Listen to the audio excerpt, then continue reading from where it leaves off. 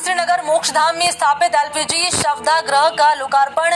नेता प्रतिपक्ष विधानसभा गुलाब चंद कटारिया, सांसद सीपी जोशी, विधायक चंद्रभान सिंह भाटिया के मुख्य आतिथ्य में संपन्न हुआ है। सहकार चेतना फाउंडेशन और सेठिया फाउंडेशन ने प्रारंभिक पाँच लाख के आर्थिक अंशदान से पहल की थी, जिससे शहर के दानदाताओं के स्वैच्छिक आर्थिक सहयोग से पूरा किया गया है।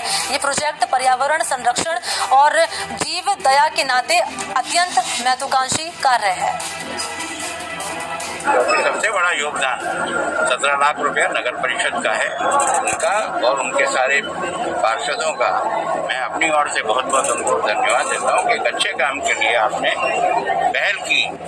और सेठिया जी ने इसकी अगुवाई की, जिसके कारण से बाकी लोग सब जुड़ करके, सब लोगों के सहयोग से ये बना है।